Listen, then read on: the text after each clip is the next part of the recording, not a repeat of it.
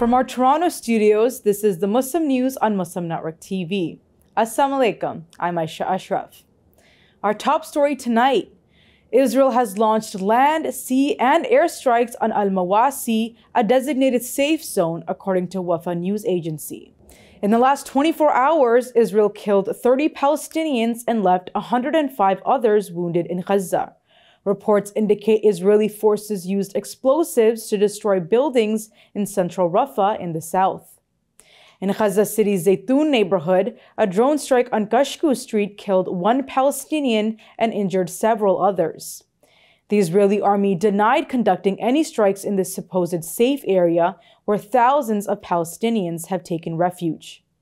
Gaza officials report that after 250 days of conflict, 15,694 children have been killed and 17,000 are without parents. The breakdown of basic services has led to nearly 330,000 tons of waste accumulating in populated areas, posing significant health risks, the UN Refugee Agency reports. The war has also degraded more than half of Gaza's agricultural land, essential for feeding its population. Satellite images analyzed by the UN show extensive destruction of orchards and crops. At least 37,232 Palestinians have been killed and 85,037 wounded in Israel's war on Gaza since October 7. Israel stands accused of genocide at the International Court of Justice, whose latest ruling ordered Tel Aviv to immediately halt its military operation in Rafah.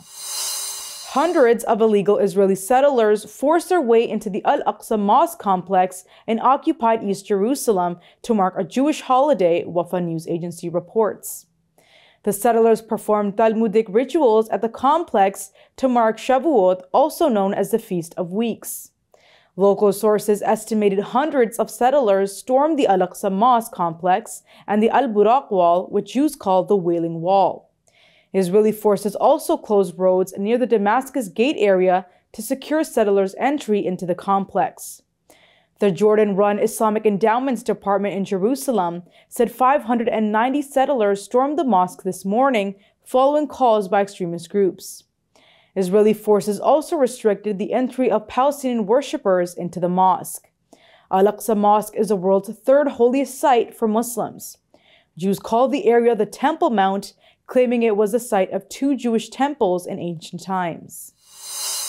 In a contentious move, the House of Representatives has voted to halt American funding for the reconstruction of Gaza. The amendment to the 2025 National Defense Authorization Act, introduced by Republican representatives, passed without a recorded vote. Pro Israel Representative Brian Mast criticized the idea of rebuilding a region devastated by U.S. backed Israeli strikes.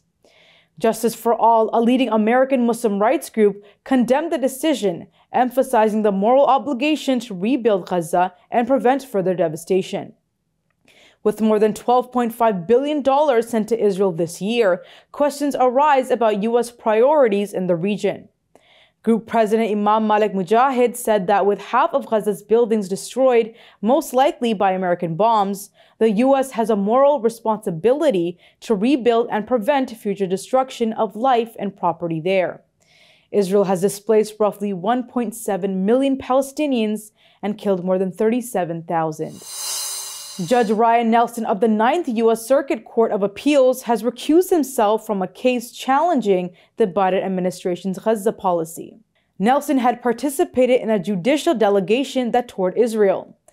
Plaintiffs, including Palestinian human rights organizations and Palestinian and American nationals, argue Nelson's involvement compromised impartiality.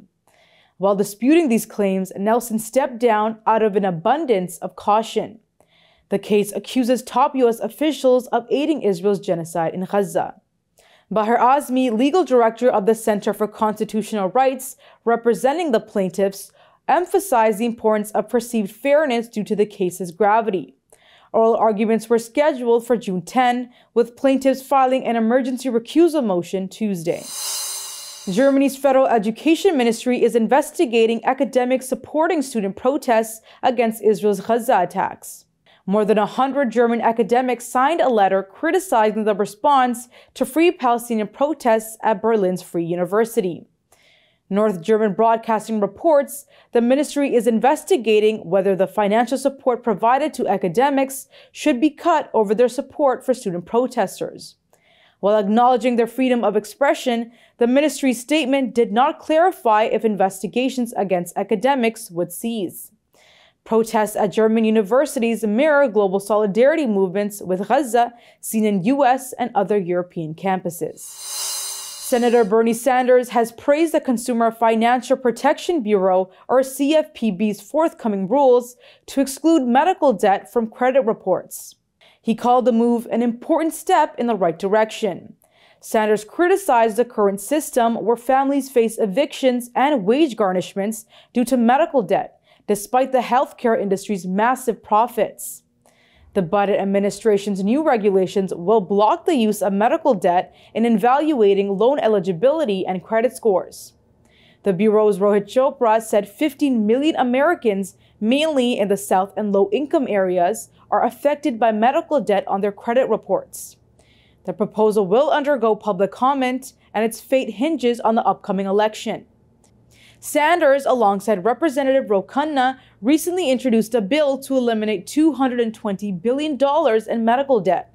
The healthcare industry made more than $100 billion in profits last year.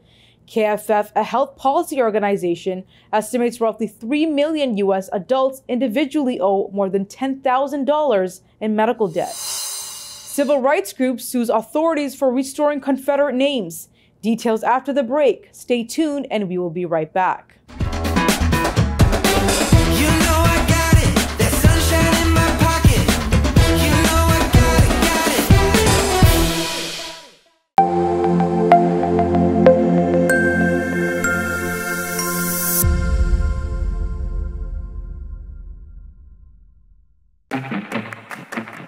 Assalamu alaikum, everyone, and welcome to Muslim Network TV's fashion talk show about Muslim women, modest fashion, and the modern age.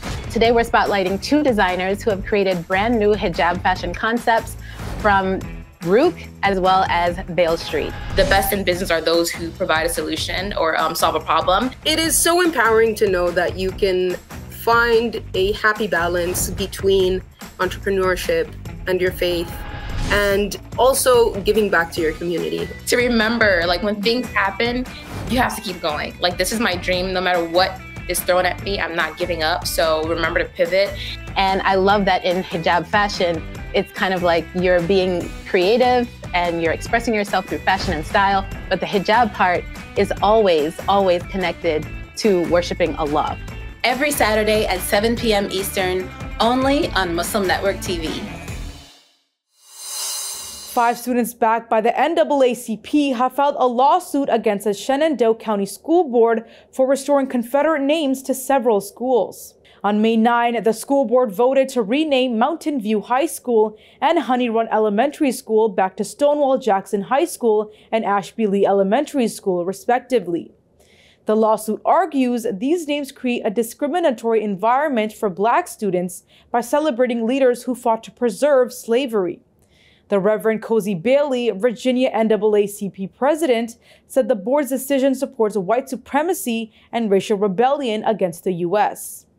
The complaint contends forcing black students to attend schools honoring Confederate leaders violates their rights under the 14th and First Amendments. The issue stems from historical segregation. Stonewall Jackson High School initially was an all white school established in 1959 and welcomed to black students until desegregation efforts in 1963. A social media post under the username JewishBiker88 sparked outrage as it depicted a man urinating on the sign of the East Texas Islamic Society Mosque and School in Tyler, Texas. The post, accompanied by the caption displayed on screen, has since been deleted along with the account. Council on American Islamic Relations Texas chapter's executive director, Mustafa Carroll, condemned the attack as bias motivated vandalism. He has called for a thorough investigation by law enforcement officials. Carroll referenced a surge in anti Muslim and anti Palestinian hate crimes, with CAIR receiving over 3,000 complaints in the last quarter of 2023.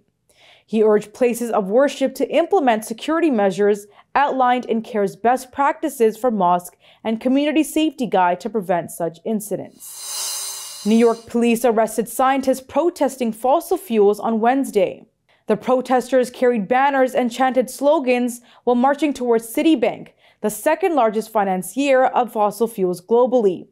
Police arrested some of the protesters for blocking the bank's doors. Utah has filed a lawsuit against TikTok, accusing the social media giant of profiting from virtual strip clubs involving minors. The complaint, filed in Utah's 3rd District Court, targets TikTok Live, alleging it promotes sexual solicitation and exploitation of young people. The lawsuit filed by Utah Attorney General Sean Reyes alleges TikTok Live operates like a virtual strip club. The feature, introduced in 2019, allows users to purchase virtual currency and gifts, which can be exchanged for real money. Utah alleges that minors are incentivized to participate in explicit acts, with TikTok taking significant cut from transactions.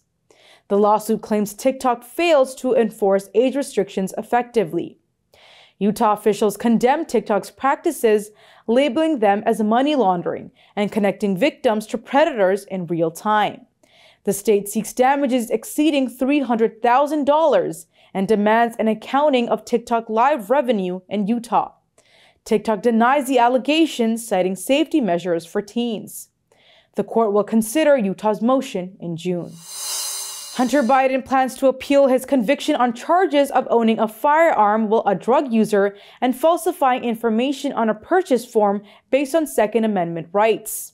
Leading gun control organizations have been conspicuously silent on the matter. Politico's inquiries to seven prominent groups yielded no comments on the case or the broader legal issue of barring drug users from gun possession. An anonymous gun violence prevention activist attributed this silence to political sensitivity. The case underscores the delicate balance for gun control advocates who also support President Joe Biden's reelection bid. An Amnesty International report reveals that girls and young women fleeing Boko Haram's terror in Nigeria's northeast face unlawful military detention. The report is based on 126 interviews detailing abuses by Boko Haram and Nigeria authorities. The government is criticized for its inadequate support toward rebuilding lives. Boko Haram's history includes abducting children, killing non believers, and forcing girls into marriage. Escaped survivors often end up detained or in displacement camps, with some reunified with Boko Haram husbands via government run transit camps. Amnesty's director for West and Central Africa, Samir Daoud, condemns the loss of childhood and ongoing rights abuses. Yet, Daoud notes the survivors' resilience in seeking control of their futures. The Taliban administration in Afghanistan has intensified its crackdown on rival Islamic parties, aiming to quash opposition to its hardline rule. Recent actions include shutting down TV stations and educational institutions associated with groups like Hizb Islami, Jamiat Islami, and Harakat Islami Afghanistan. The closure of Tamadon TV, allegedly affiliated with Harakat Islami, drew condemnation from global media watchdogs. The ministry claimed the station was operating on seized land. Tamadon TV, which covered news and current affairs, as well as Shiite religious programming, has denied the claim. Critics view these moves as evidence of the Taliban's religious bias and authoritarian policies targeting dissenters regardless of their ideological affiliations. That's all from our Toronto studios tonight. Thank you for tuning in. You can subscribe to our YouTube channel and hit the bell icon for the latest updates. Your support is needed now more than ever to continue our mission of providing informative, educational, and inspiring content to Muslims in North America and around the world. Donate now by visiting muslimnetwork.tv slash donate. For more content, keep watching Muslim Network TV. Salam and good night.